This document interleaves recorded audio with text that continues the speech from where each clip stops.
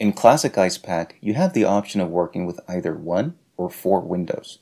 The four window view can be easily resized to suit your needs. Note that object visibility and active post-processing are synchronized across all four windows. Also, at any time you can toggle back and forth between the single and four window views. In AEDT Icepak, you can pretty much have as many windows as you like, although for good visibility, a small number of windows usually works best. To create a new window, you can go to Window, New Window. To help organize the windows in the GUI, you can use the Window Tile Horizontally and Tile Vertically commands. Note that object visibility, post-processing, and rendering options are independent for each window.